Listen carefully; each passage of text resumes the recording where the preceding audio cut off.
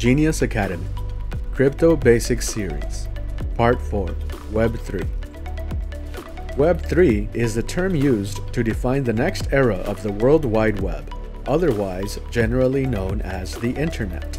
The first version of the Internet, now referred to as Web 1, was defined by a read-only style of user interaction.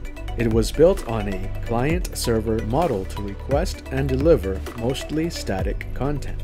Users typically used home PCs to browse web pages and started using email to communicate. Early search engines were basic. Internet plans included data download allocations that were tiny by today's standards, and not everyone was connected yet. There's no clear line when Web 1 became Web 2, but the term Web 2 generally describes the last 15 years or so, where the user experience has shifted to a more interactive one.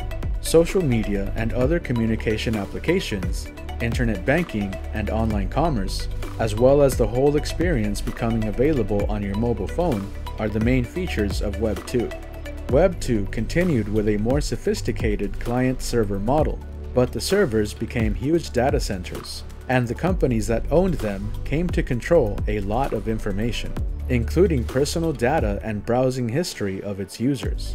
Like the transition from Web 1 to Web 2, we will not have a line in the sand where we move into Web 3. However, we are starting to see some of the key features likely to be involved already being built out and improved.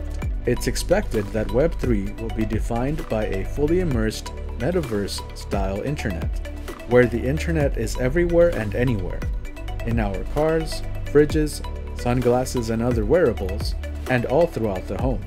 We anticipate that Web3 will also come with a move away from the client server model used so far to a much more peer to peer model with a greater focus on decentralization and open source software.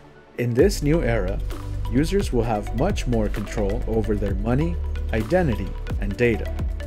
We expect blockchain technology and cryptocurrencies to play a large role in Web3.